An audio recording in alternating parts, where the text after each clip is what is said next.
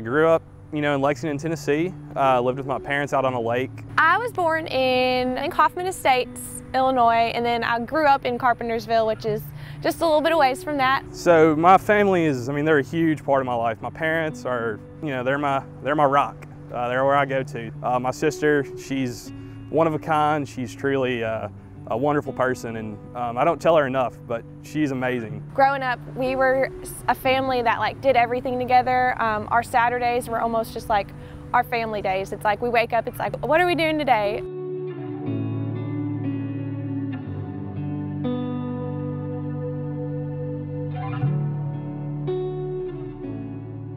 I met her at, at like a pre-party and we just kind of started chatting up and I was, I was flirting with her and you know, just, just being a typical guy. I saw her and then the next day I just like kind of kept thinking about her. A few days went by. I had had a message on my phone and it was from Chris and he's like, you know, hope you had fun last night. It was great to meet you. You know, you're a lot of fun. Talked back and forth for a bit and then I think I used some cheesy pickup line to get her, her phone number and uh, she gave it to me, luckily.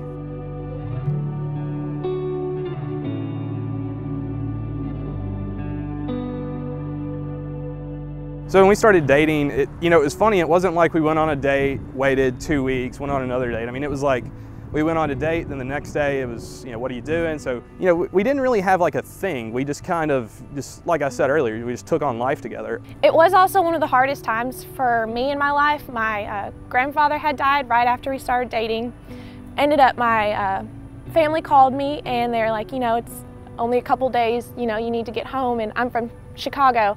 He dropped what he was doing. He drove me back to Murray. I got my stuff and drove me to the train station. And this was after less than a month of dating. It was it was hard for both of us, but um, he he was great.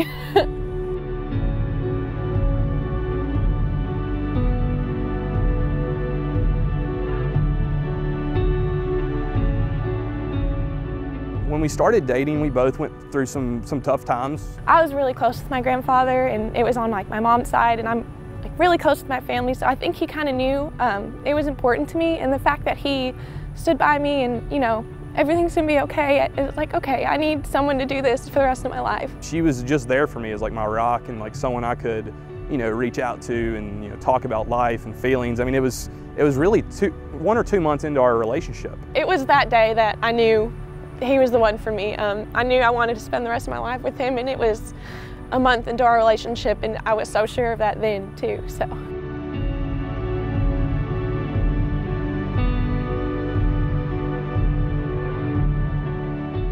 Chris said I love you first. It was me. We went to float the Buffalo River with all his friends and you know, this is like the first time I'm seeing him in his environment with his people and you know, I was like, okay, this is this is going to be a great day. We were on the bus riding home, uh, you know, back back to my parents' place and I looked at her and I just said, I love you.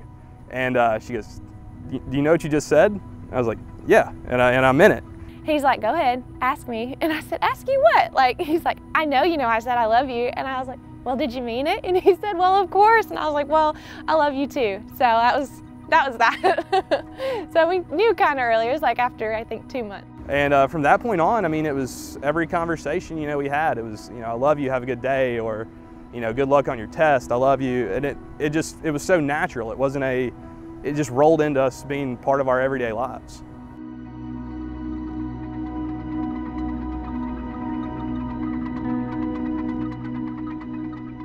So the proposal was a lot of fun. I actually had a lot of fun planning it and getting it together. My family was coming, it was Labor Day weekend, so I didn't think, you know, I had mentioned, I was like, maybe we could invite my family down to like your parents' house and everyone can meet and it'll be great. You know, we get everyone down and she's all stressed out all day and I'm like, I'm like, Dad, just relax, you know, it'll be fine, it'll be a good day, you know, just try, like get through the day. And so I had planned that I was gonna have tiki torches lining a walkway for um, and then like have our family down the walkway as she walks out. I don't think she really got suspicious up until right before she went up to get ready. I was like, uh, why don't you go get ready? We'll take some family pictures. And she's like, ah, I don't care. I'll just take them in this. At the lake, I just don't care. So I'm normally like in, you know, shorts and a t-shirt and my hair's in a ponytail.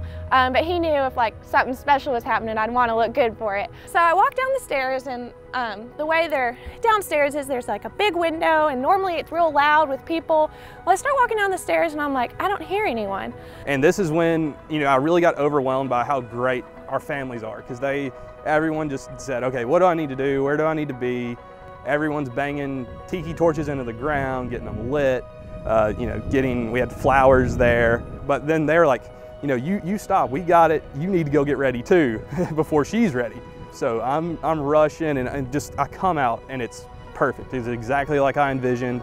And I mean, they just, they put it together for me and it was amazing. We open the door and here's Chris right by the lake. It, the sun is setting, so it's perfect sunset, perfect just everything. She starts crying right away and she, she realizes it. And I, I start bawling too. I'm almost gonna start crying right now. Uh, so I have like this big long speech prepared for her when she gets there, but I, all I could say was, will you marry me? I, I was so choked up, I couldn't hardly say anything. And he's on one knee and I lost it and said yes to marry my best friend. So um, it was a perfect day.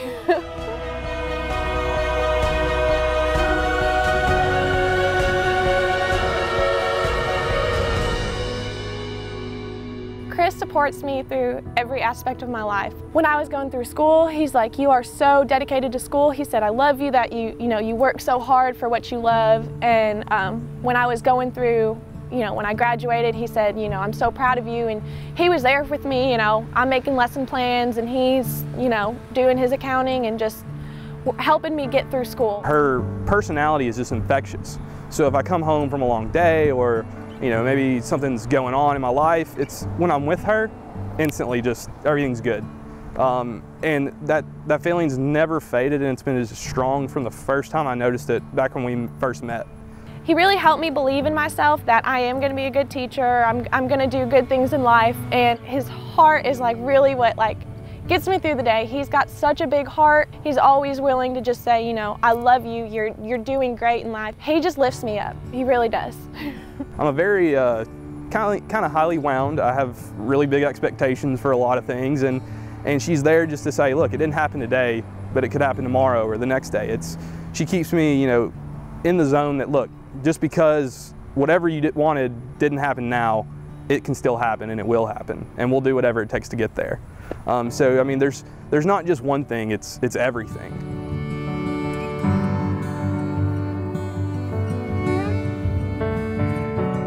My favorite characteristic about Alyssa is just her positive outlook on life. You know, she never has a truly bad day. She's she may have bad things go on, but at the end of the day, she's she's happy and she just loves life, and it's infectious. How loving he is. Um, uh, I joke with him because he's so loving and so caring that it's almost like like I'm, I'm the disciplinary with the dog and he's just, oh, don't yell at her. She's so sweet. She didn't do anything wrong. And but he's like that with everything, you know. Everything that he says has just such positivity behind it. I know he cares about me and sometimes it's like, oh my gosh, like I can't believe I have someone who loves me this much. You don't think it's possible for someone to, for you to know that someone actually loves you, but like I really do believe he loves me. You can't have a bad time when you're around her. She just spreads that joy to you. So the thing that drives me nuts about her, and I, I do like it, but it's she's super kind of OCD. Like everything has a place and it needs to be in its place.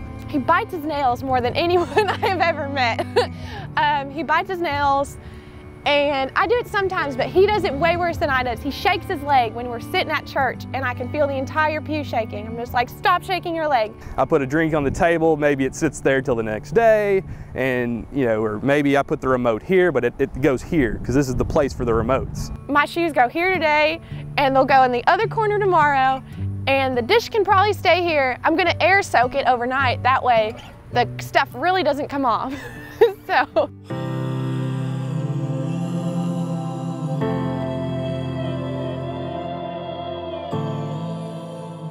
five years from now, where will we be? Hopefully we'll be in a house.